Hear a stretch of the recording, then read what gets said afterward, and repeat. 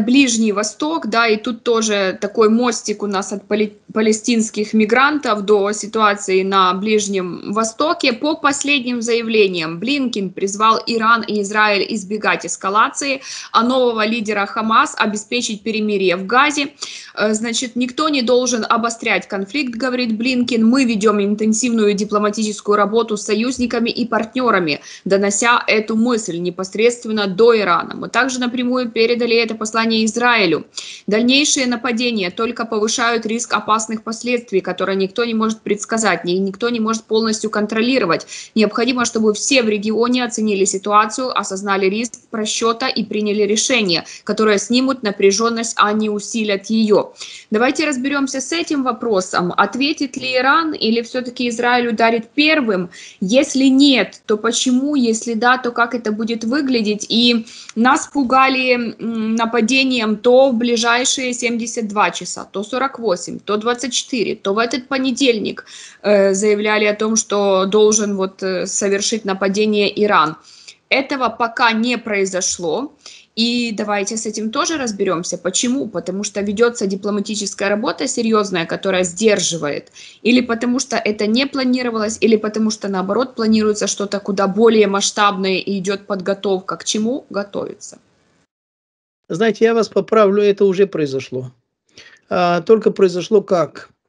Иран не ударил субъектным образом по Америке, либо по да. Израилю, а Иран ударил своими прокси по американскую базу напрямую. Есть убиенных, причем вчера утром, не позавчера Вы имеете в виду базу в Ираке? Да, да, да, да. Mm. И, и они это сделали через свои прокси. Причем, а, если так взвесить, так аккуратненько, но они действительно сделали примерно то же самое, что по весу соответствует тому, что сделали на их территории.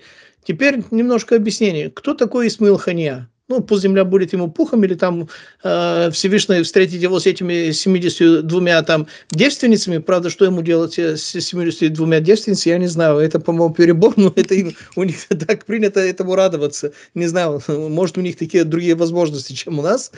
Э, тем не менее, э, Исмаил Хания был, можно сказать, закопичей, заместник командир политической части в Хамас. То есть он не был верховным главнокомандующим, либо там главой Хамас как таковым, он был закопичей.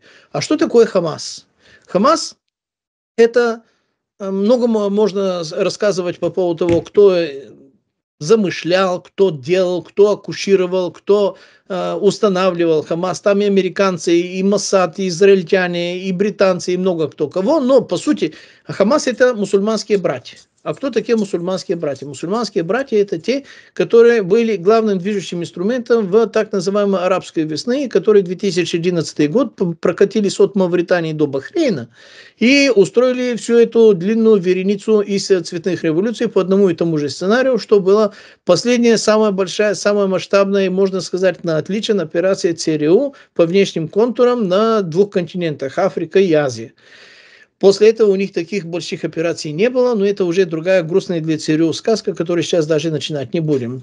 Мусульманские братья – это старая организация, и все мусульманские братья, и все мусульманские организации, которые имеют воинствующий и такой э, характер, они с ну, последние 150 как минимум, а некоторые говорят 220 лет, они находятся под британским контролем, потому что Британия владела этими территориями, там у них агентура, она наследственная, традиционно наследственная, а, и вот эта агентура переходит из э, дедушки к э, а, там отцу, от отца к сыну, от, от сына к следующего сына, то есть там очень стройная, очень такая незыблемая система, которая работает действительно сверхкачественной. Она работает не только там, она и в Индии так работает, и в Средней Азии так работает. То есть британская агентура это на порядок выше, чем американская агентура. Потому что американцы приходят с деньгами и с пистолетом и говорят, либо деньги, либо я тебя сейчас пристрелю, сделаю тебе бубо, что на самом деле грубиянский метод, действительно, скажем так, острое ощущение и сложное предложение, на которых нельзя сказать нет, но э, это большой, э, долгоиграющей лояльностью никак не пахнет и обеспечить не может, э,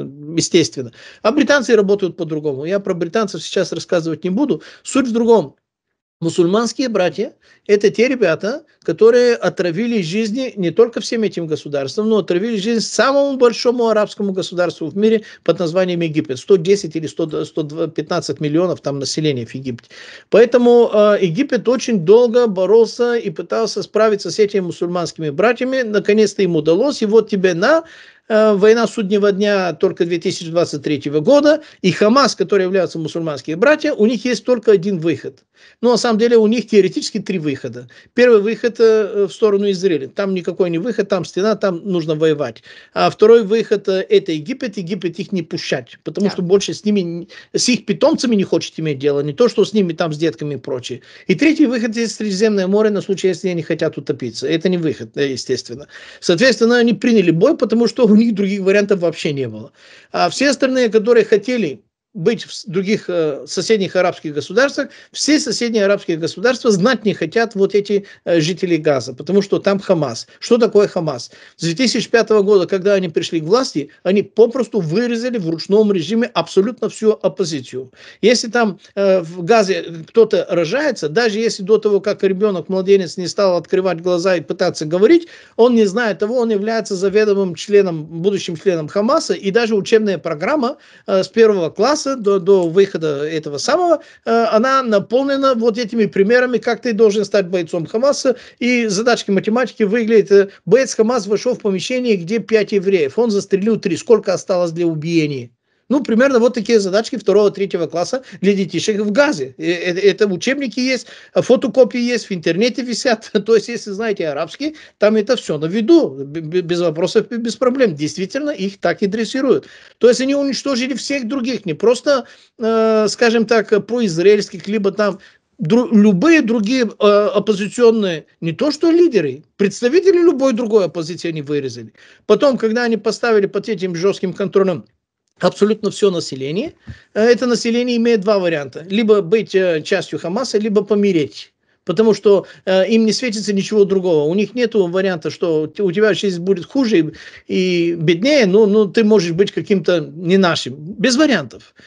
Что-то подобное Хотя в более лайтовом варианте происходит с Хезбаллой, который, там на севере. Потому что вы спрашиваете, когда включится Иран. Иран включится да. последним, потому что Иран может и не понадобиться. И хотя не важно, кто ударит первым, э, Иран все равно включится последним, потому что если Иран включится, Израиль не будет до конца дня, буквально в смысле этого слова. А, просто потому, что у Израиля самая высокотехнологическая, самая, самая, самая качественная, самая супер-пупер армия в мире. Спора нет, вопросов нет, все у них самое-самое. Однако Израиль, знаете, у них территория пятой части моей родной Болгарии, которая 10 раз меньше, чем Украина. И в самое узкое место это 17-18 километров. У них нет стратегической глубины. У них общее количество территорий 20 720 э, квадратных километров.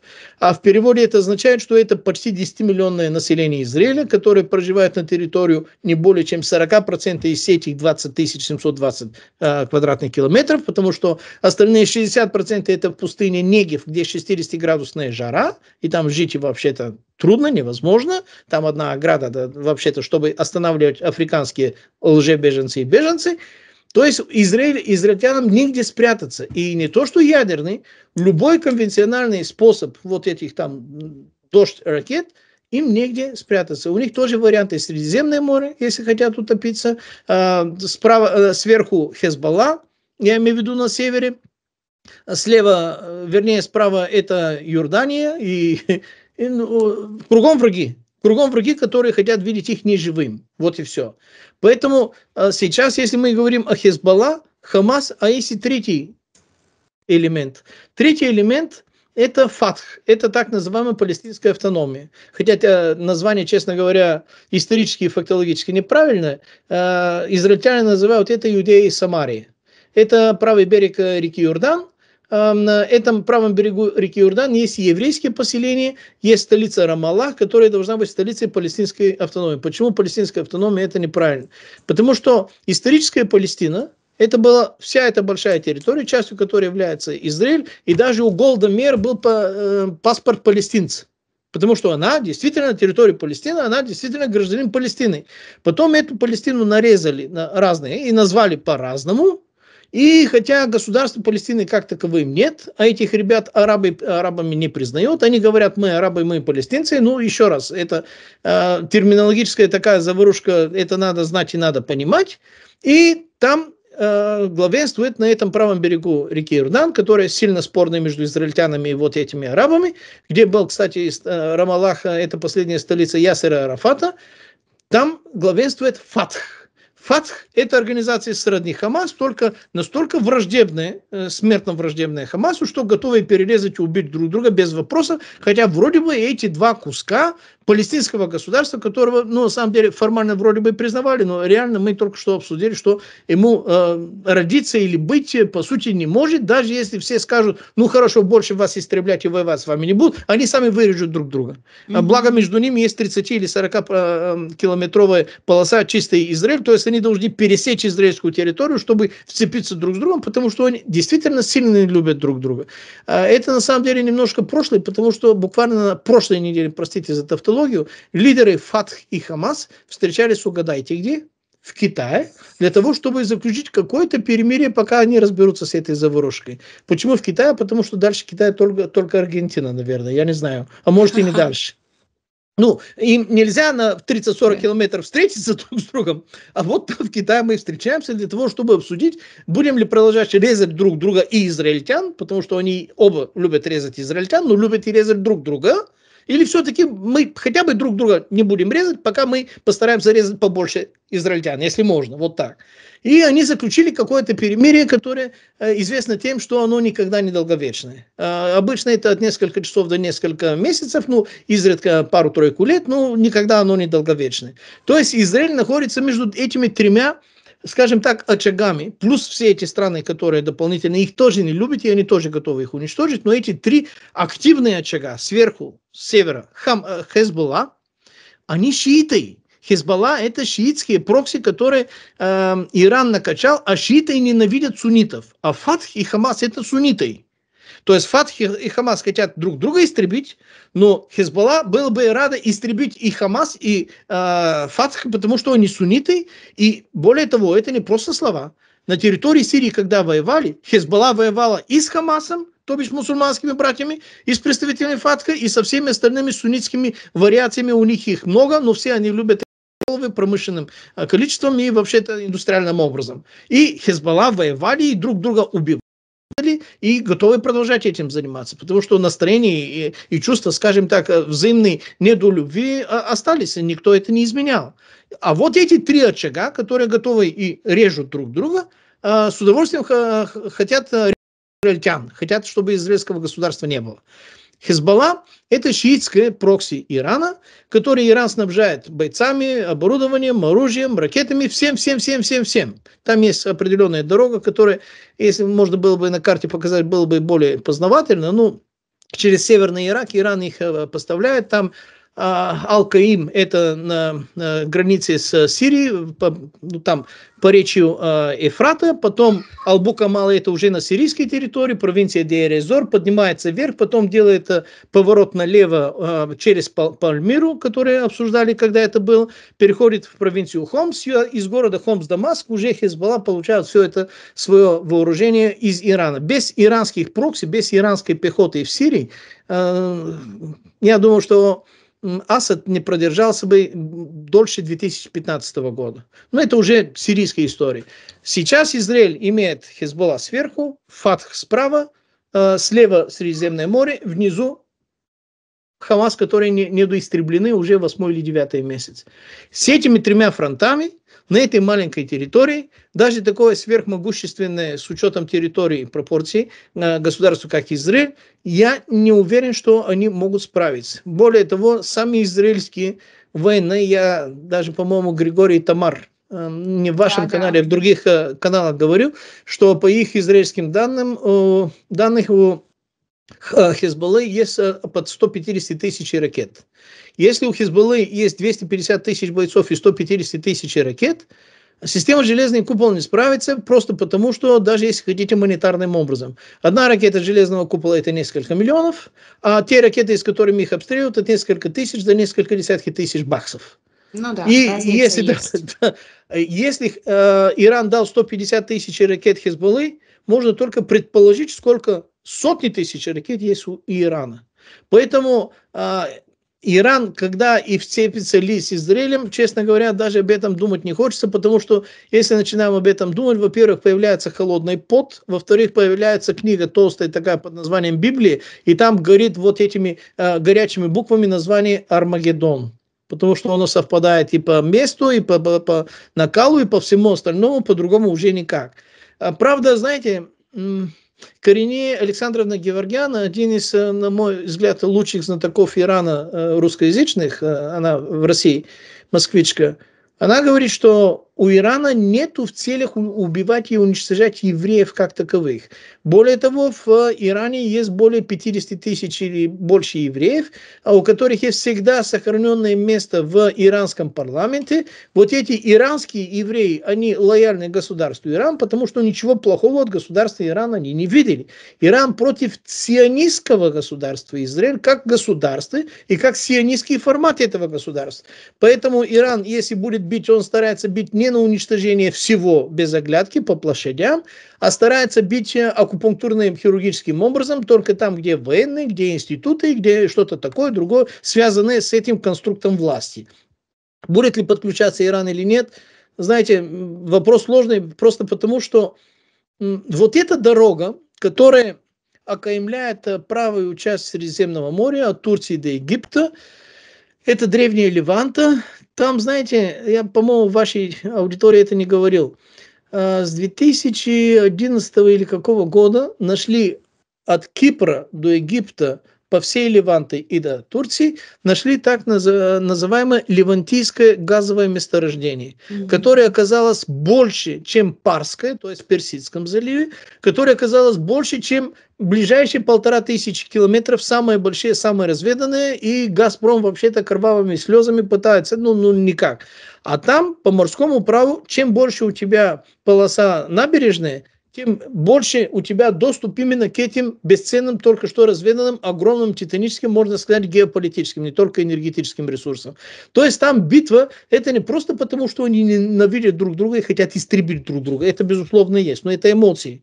Там есть и газ, Газ – это геополитика. Геополитика – это, скажем так, бизнес царей, президентов и других таких больших особей. И там у кого получится больше э, оттяпать, поэтому газа – это полоса, а из этой полосы нужно оставить чем меньше, тем лучше, для того, чтобы Израиль восстановил. До 2005 года это был Израиль. То, то есть Юрий, Юрий, Газа было Израилем э, до 2005 mm-hmm. года. Они отделились от Израиля после 2005 года. М- мало кто об этом, конечно, знает. Израилю, если восстановить вот это, они получают этот ресурс, получают этот ресурс, они получают совершенно другую значимость в этом регионе, и, соответственно, дальше по списку даже объяснять не стоит. Но если будет одновременное или даже не одновременное, а относительно одновременное, в рамках двух месяцев нападения с, с Хезболлы, э, с э, Хамаса, Хамас не будет нападать, они просто не будут сдаваться, и со стороны Фатха, ну, у меня большие прибольшие вопросы, и Цахал справится? Нет. А вообще-то какая-то армия мира в таких условиях могла бы справиться? Нет для меня, я правда не знаю. Мне кажется, эта миссия невыполнима. Если Том Круз там не появится э, рядом, чтобы подключиться и показать, как решать эти миссии невыполнимые, ну, я думаю, что у них э, шансы без Тома Круза невелики. Уж извините. И напоследок не могу вас не спросить о Соединенных Штатах Америки. Выборы а, – это большое событие, за которым следит весь мир. Камала Харрис уже официально кандидат от демократов, она уже даже выбрала себе вице-президента. Трамп официально кандидат от республиканцев. У него также уже обозначена команда в лице вице-президента. Европа в шоке готовится к приходу Трампа. Более того, они там созывают какие-то э, собрания, чтобы понять, как действовать, если вот э, Трамп сядет в овальном кабинете, и что после этого начнется. Трамп, в свою очередь, говорит, я все знаю, я сейчас приду, и только я могу закончить эту войну. Камала Харрис пока непонятно, потому что она пока из таких заявлений, которые звучали как кандидата в президенты, это разве что то, что она была прокурором и знает, как говорить с такими людьми, как Трамп. Но весь мир в предвкушении. А, стоит ли нам такое большое внимание обращать именно на персоналию президента Соединенных Штатов Америки? Или же все-таки нам стоит учитывать, что существует вот этот вот deep state, э, и в свою очередь предохранители от каких-то необдуманных решений? Ну, смотря это кому, стоит ли нам, нам это кому. Ну, Если нам с вами и нашим точки, зрителям. Не, не, я имею в виду точку зрения, потому что, понимаете, то, что будет происходить в Америке, а, кому-то будет плохо, кому-то будет хорошо, поэтому хотел немножко географически хотя бы уточнить. Ну, у нас, э, конкретно нас, Украину, интересует, конечно же, сохранение поддержки и э, сохранение там поставок оружия, помощи и всего остального, и позиция главная по Украине, да, поэтому у нас тут свой такой, скажем, интерес. Но я думаю, что если Камала Деви Харрис выиграет и будет президентом, и будет продолжать линию Джозефа Байдена, ничего хорошего в Украине не светится, просто потому что как вела себя демонстрация, вернее, ничего хорошего Киеву не, не светится.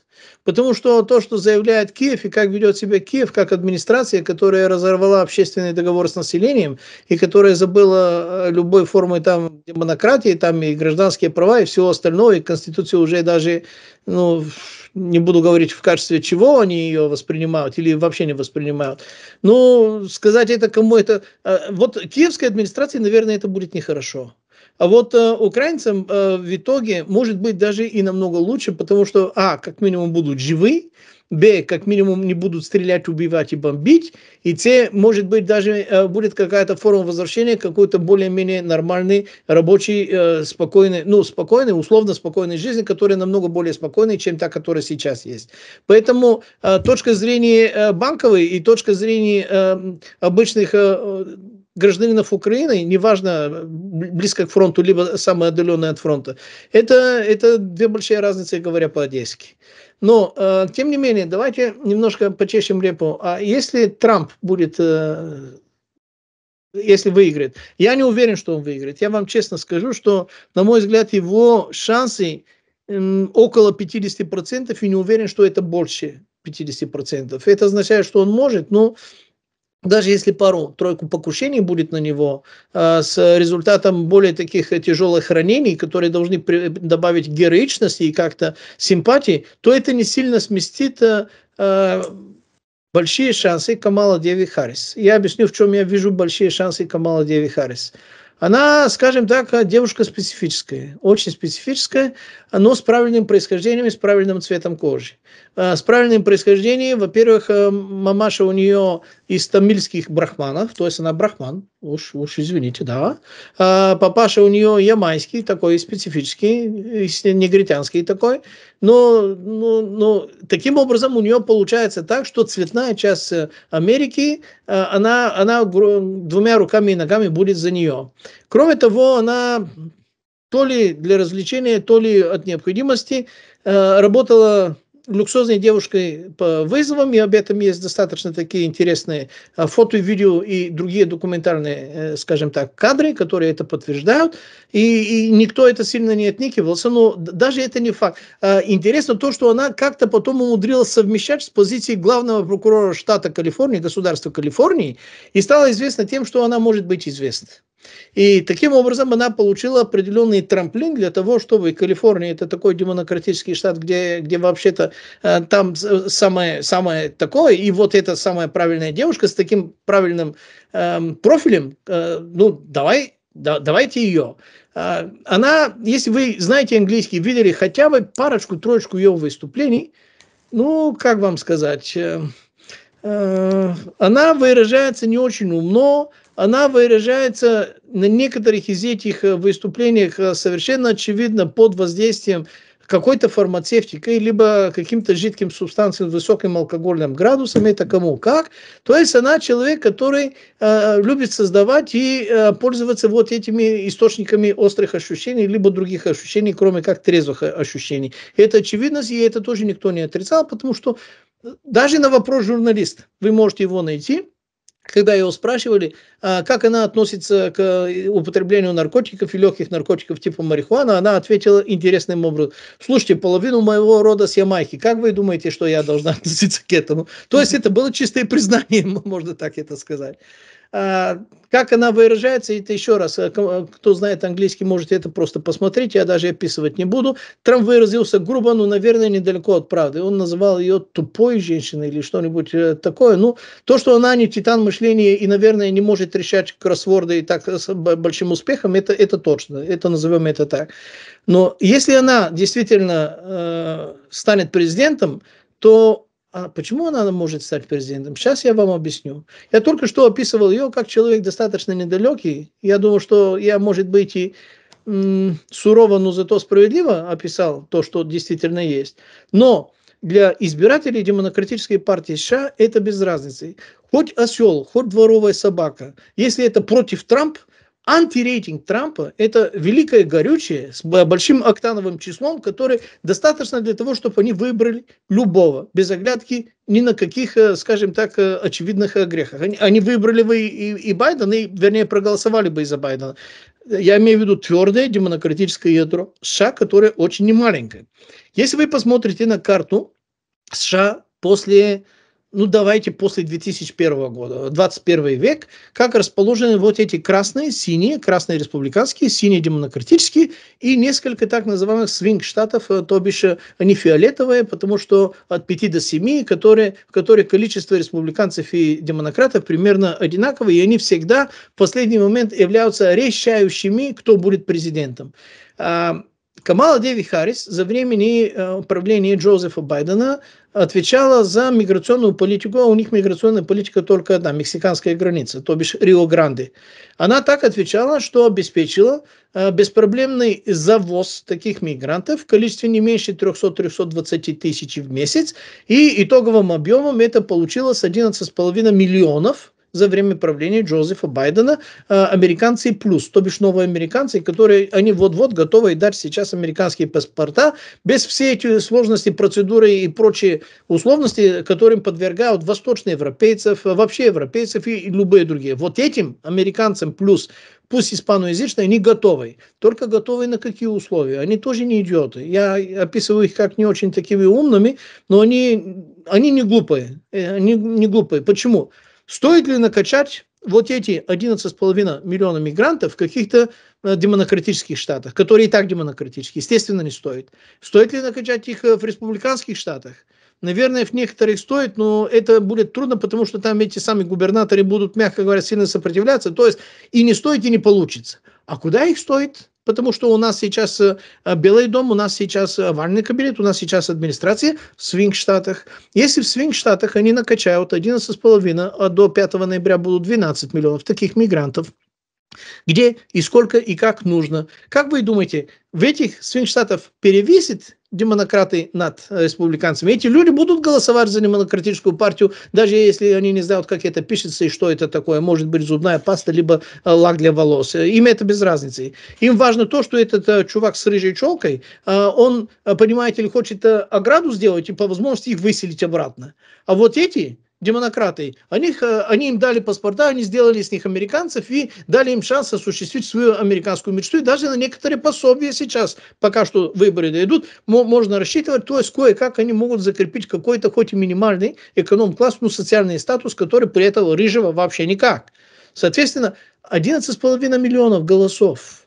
Даже если там, ну, скажем так, пятая часть из этого детки.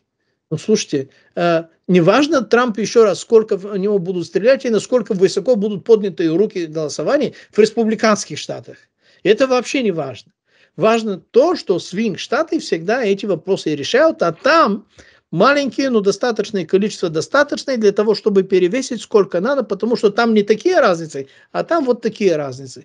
Поэтому если подключить туда и мастера компьютерных э, клавирных э, политических симфоний, которые на компьютерные клавиши умеют это композировать, 20 год мы это видели, то я думаю, что э, как бы многим сейчас показалось, ну, скажем так, противоестественным и слишком экзотическим, вполне вероятно в конце а, а, января 2025 года, где-то около 21-22, по-моему, получается, ну, Камала Деви Харрис может поднять руку и сказать, вот видите, я христиан, вот на Библию, я это самое, я готов, я клянусь, я клянусь, и давайте за мной.